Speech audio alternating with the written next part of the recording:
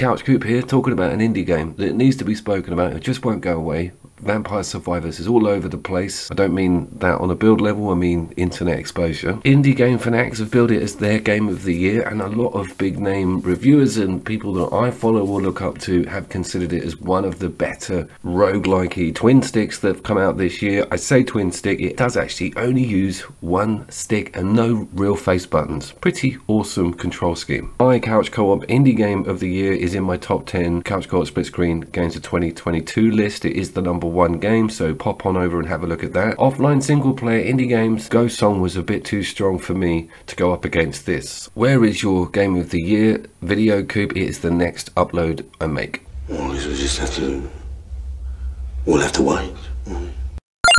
Okay, let's talk indie game roguelike meta. And this one is straight down the middle with all of the unlocks, a little bit of Risk of Rain, a little bit of Enter the Gungeon, but that lovely, huge, open, expansive weapon roster and unlock roster, and of course the chance to sort of upgrade certain drops to give them more power when having them appear in game. A very compelling character roster that offers all kinds of perks and buffs from start depending on who you go with. You get a couple at the beginning but it's a real incentive to push and unlock some of those cooler looking dudes.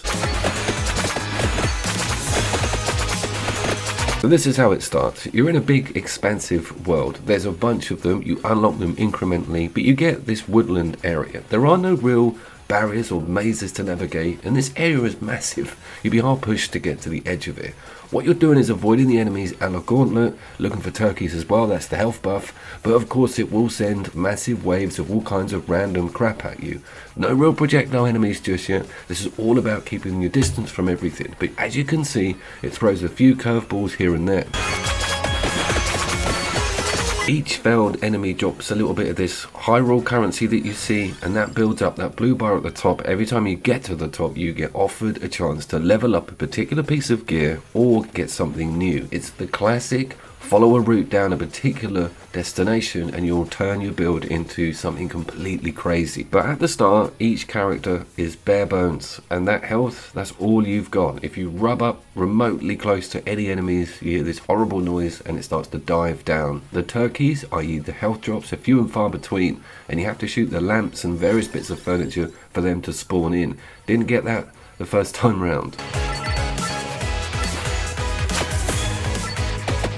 At the 10 minute mark, it normally ramps things up, and I do like the enemy design with the forest theme. You've got praying manti there, funny little ghouls flying around, and every so often you get hemmed in, Little Shop of Horror style. You can bust out of this circle, but I like to just hardcore it in there and just smash everything that comes anywhere near me.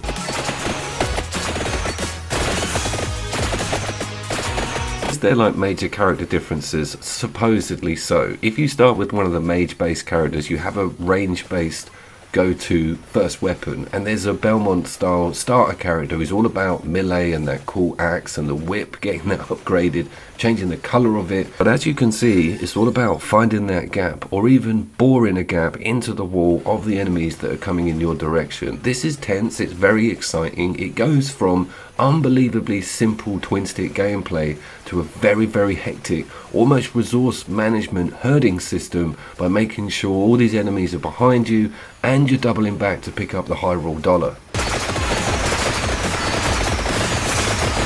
Level variation is a little bit strange because it's all about open plan game map, so you're not having to worry too much about getting stuck in something or dead ends. But there is cool little horseshoe shaped rooms that allow you to sort of herd the enemy inside them and, and then deliver huge damage on a sort of trapped pack. And you can see that there's also little alcoves that allow you to circumnavigate certain difficult situations. So it's worth checking out your surroundings, but don't be worried that you're going to get lost or stuck down a dead end. There is an arrow pointing to a box that I need to get to or a relic that would open up more levels or even something better on that main menu.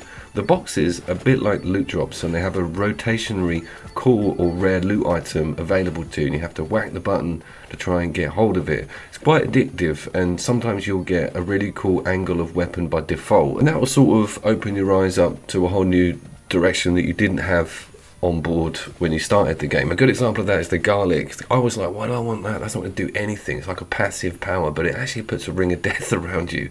If you amp the garlic up loads, you are then kind of invincible to a certain extent. And I was at a point where this level just plateaued. Nothing could get near me. I got a health regen perk, which meant I got everything back Diablo style the more I killed.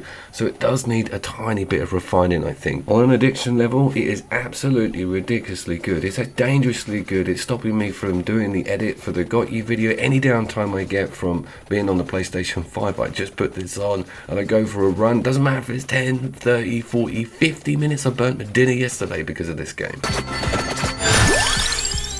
What's the deal with bosses? Well, it throws in these big, rare characters. They'll have an outline around them. They'll be the biggest bullet sponges ever, and they'll just make a beeline to you. It's blatantly obvious who they are and when they're spawned in, and there'll be some accolades about getting particular boss creatures in certain levels. I like that idea. It's very cool. It's not like it locks you in an arena and goes full Archvale on you. Could it have been a couch co-op? God damn it, yes. What a travesty. Come on, give us a Nobody Saves the World and update this, make it local co-op. It would be epic. You know it would.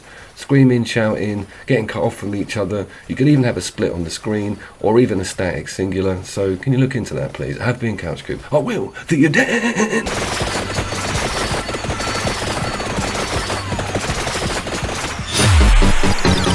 Now hang on to your feelings, alright? Because it's gonna get fucking hairy.